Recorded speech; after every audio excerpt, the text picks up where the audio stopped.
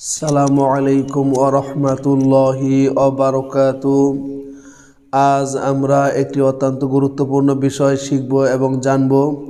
সেটি হচ্ছে, কেউ যদি কালো জাদুর শিকার হয়ে থাকেন এবং কেউ যদি কুফুরি কালামের জাদুর শিকার হয়ে থাকেন, যদি মনে হয় যে আপনাকে কালো জাদু করা হয়েছে কিংবা আপনাকে কুফরি কালামের দ্বারা জাদু করা হয়েছে কিংবা চালানি জিনের মাধ্যমে আপনার বারবার ক্ষতি করার জন্য চেষ্টা করা হয়ে থাকে। তো সেটি কিন্তু আজ আমি সরাসরি পবিত্র কোরআনুল কারিম থেকে একদম সহজে কীভাবে চালানি জিনের ক্ষতি থেকে বাঁচা যায় এবং কুফুরি কালামের জাদু থেকে কীভাবে বাঁচা যায় এবং কালো জাদু থেকে কীভাবে বাঁচা যায়, সেটি কিন্তু একদম সরাসরি কোরআন থেকে আমি আপনাদেরকে সুন্দর করে বলে দিব। মাত্র দুইটা সুরা থেকে দুই জায়গা থেকে আমি দুইটা আয়াত আমি আপনাদেরকে মানে দুই জায়গা থেকে আমি আপনাদেরকে এই কয়েকটা আয়াত বলে দিব। তাহলেই কিন্তু আপনি চালানি দিনের ক্ষতির থেকে, আপনি কুফরি কালামের জাদু থেকে, কালো জাদু থেকে আপনি একদম সহজে কিন্তু বাঁচতে পারবেন। আপনার নিজের সমস্যাটা আপনি নিজেই সমাধান করতে পারবেন, ঠিক আছে? আপনার ধৈর্যের সাথে ভিডিওটি দেখতে থাকুন, তাইলে আজকের পর থেকে আপনাদের আর কোনো সমস্যাই থাকবে না, ঠিক আছে? তো আসুন, যদি কেউ কালো জাদুর শিকার হয়ে থাকেন কুফুরি কালামের জাদুর শিকার হয়ে থাকেন কিংবা চালানি জিনের মাধ্যমে যদি আপনার ক্ষতি করা হয়ে থাকে, আগে দুই জায়গা থেকে আয়াতগুলি পরে সুন্দর করে আপনাদেরকে আমি শিখিয়ে দিচ্ছি। পরবর্তীতে আমি নিয়মটি বলে দিচ্ছি। তাইলে কিন্তু আপনাদের সকল সমস্যা সমাধান হয়ে যাবে। কারোর কাছে যাওয়ার দরকার নেই, আপনি নিজেই সমাধান করতে পারবেন। এবং এটা কোন সুরা, কত নাম্বার আয়াত, কীভাবে তাও কিন্তু আমি সম্পূর্ণই বলে দেবো আপনাদেরকে। শুধু ধৈর্যের সাথে ভিডিওটি দেখতে থাকুন, ঠিক আছে? যদি কেউ এই ধরনের সমস্যার সম্মুখীন হন কালো জাদু কুফুরি কালামের জাদু কিংবা চালানি জিনের মাধ্যমে আপনার বারবার ক্ষতি করা হয়ে থাকে তাহলে প্রথমেই আপনি এক গ্লাস কিংবা একটা পবিত্র পাত্রের মধ্যে পানি নেবেন। কি নেবেন? পানি নেবেন। হ্যাঁ। পানি নিয়ে পানিটা আপনার সামনে রাখবেন। রাখার পরে আপনি সুন্দর করে এইভাবে প্রথমে কোরআনুল কারিমের সর্বপ্রথম সুরা ফার্স্ট টাইমের সুরা যেটা সুরাতুল ফাতেহা সবাই পারে এই সুরাটা সুন্দরভাবে পড়বেন পরবর্তীতে আমি এই সুরাতুল আরফ থেকে কয়েকটা আয়াত আমি আপনাদেরকে বলে দিব আপনারা ধৈর্যের সাথে দেখতে থাকুন সুরাতুল ফাতেহা সুন্দর করে আপনারা এইভাবে পড়বেন أعوذ بالله من الشيطان الرجيم أعوذ بالله من الشيطان الرجيم. بسم الله الرحمن الرحيم. بسم الله الرحمن الرحيم. الحمد لله رب العالمين. الحمد لله رب العالمين. الرحمن الرحيم. الرحمن الرحيم. مالك يوم الدين. مالك يوم الدين. إياك نعبد وإياك نستعين. إياك نعبد وإياك نستعين. اهدنا الصراط المستقيم. اهدنا الصراط المستقيم. صراط الذين أنعمت عليهم. صراط الذين أنعمت عليهم. غير المغضوب عليهم ولا الضالين.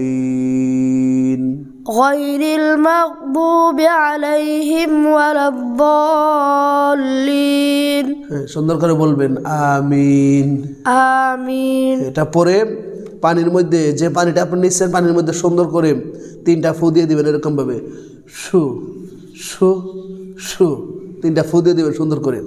ফু দিয়ে এরপর আপনি পবিত্র কোরআনুল কারিম খুলবেন। যদি দেখা দেখা পড়তে পারেন তারপরও সমস্যা নাই। মুখস্থ পড়ার দরকার নেই দেখা পড়লেই হবে। আপনি সুরাতুল আরফের সুরাতুল আরফের আপনি এগারো নাম্বার আয়াতটা বাহির করবেন। এগারো বারো এবং তেরো তিনটা আয়াত পড়বেন। কতটা আয়াত পড়বেন? এগারো বারো তেরো হ্যাঁ। সুরাতুল আরফের এগারো নাম্বার আয়াত বারো নাম্বার আয়াত তেরো নাম্বার আয়াত। তিনটা আয়াত পড়ে আবার সেই সুন্দর করে পানিতে ফু দিবেন। ফু দিয়ে সে এই পানিটা কেমনে কী করবেন? আমি পরে বলে দিচ্ছি আগে আয়াতটি আপনাদেরকে আমি আগে শিখে নেই। যদি ইচ্ছা করেন আমাদের সাথে ভিডিও দেখে আমাদের সাথে বলে বলেও কিন্তু আপনি পানিতে পড়তে পারবেন ঠিক আছে? সেটাও কিন্তু আমি বলে দিচ্ছি আপনারা আমাদের সাথে আয়াতটি পড়েন সুন্দরভাবে পড়বেন। أعوذ بالله من الشيطان الرجيم. أعوذ بالله من الشيطان الرجيم. بسم الله الرحمن الرحيم. بسم الله الرحمن الرحيم. ولقد خلقناكم. ولقد خلقناكم. ثم صورناكم. ثم صورناكم. ثم قلنا للملائكة اسجدوا لآدم ثم قلنا للملائكة اسجدوا لآدم. فسجدوا إلا إبليس. فسجدوا إلا إبليس. لم يكن من الساجدين. لم يكن من الساجدين. قال ما منعك؟ قال ما منعك؟ ألا تسجد إذ أمرتك. ألا تسجد إذ أمرتك. قال أنا خير من. قال أنا خير من.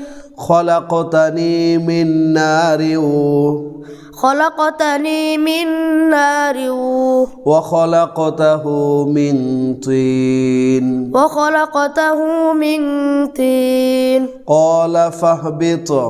قال فاهبط. منها. منها. فما يكون لك. فما يكون لك. أن تتكبر.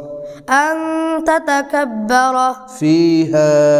فيها. فاخرج. فاخرج.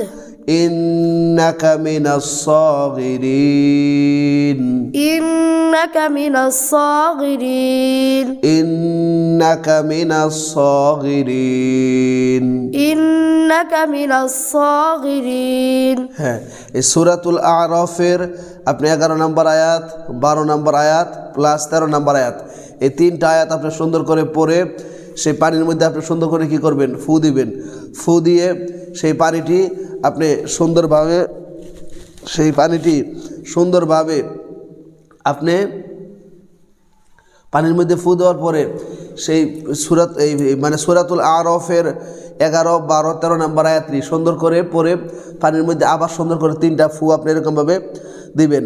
ফু ফু ফু। তিনটা ফু আপনি সুন্দর করে দিবেন। তিনটা ফু দেওয়ার পরে আপনি সেই পানি লাগাতার সাত দিন পর্যন্ত প্রতিদিন তিনবার করে খাবেন। কতদিন পর্যন্ত? সাত দিন পর্যন্ত। সাত দিন পর্যন্ত প্রতিদিন লাগাতার তিনবার করে সেই পানি আপনি খাবেন।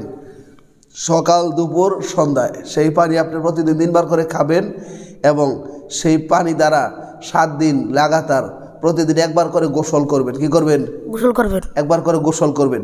গোসল করলে এবং সেই পানি আপনি খাইলে পান করলে আপনাকে কেউ যদি কালো জাদু করে থাকে কিংবা কেউ যদি আপনাকে কুফরি কালামের দ্বারা কোনো জাদু করে থাকে, কিংবা আপনাকে চালানি জিনের মাধ্যমে কেউ যদি ক্ষতি করার জন্য চেষ্টা করা হয়ে থাকে, যদি বারবার চালানি জিন দ্বারা আপনাকে ক্ষতি করার জন্য চেষ্টা করা হয়ে থাকে, তাহলে কিন্তু আপনি খুব দ্রুতই সমাধান পেয়ে যাবেন। এটি কিন্তু খুবই পরীক্ষিত একটি আমল।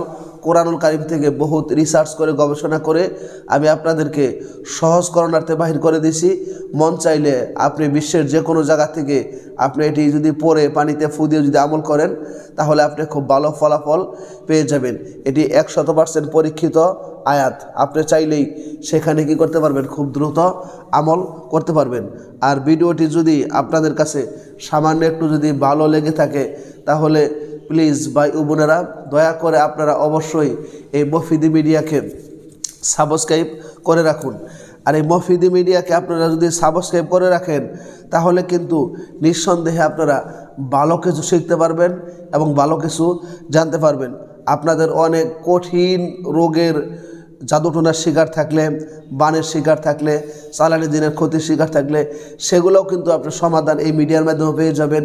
এবং ইসলামের আপনার প্রতিদিনের প্রয়োজনীয় যে সকল বিষয় আপনার জানার ইচ্ছা, যে সকল বিষয় আপনার জানতে ইচ্ছুক, যে সকল বিষয় আপনার খুবই প্রয়োজন, সেই সকল বিষয়ের প্রয়োজনীয় ভিডিওগুলো কিন্তু আপনি এই মফিদি মিডিয়ার মাধ্যমে কিন্তু খুব সহজেই পেয়ে যাবেন। তো সেই জন্য মফিদি মিডিয়াকে সাবস্ক্রাইব করে আপনারা আমাদের সাথে এই মফিদি পরিবারের একজন সদস্য হয়ে যান। মফিদি পরিবারের সদস্য হয়ে আমাদের সাথেই থাকুন এবং আপনাদের সুস্বাস্থ্য, সুন্দর এবং ইমানি জীবন কামনা করে আজকের মতো আমরা এখানেই বিদায় নিচ্ছি। আসসালামু আলাইকুম আ রহমতুল্লাহি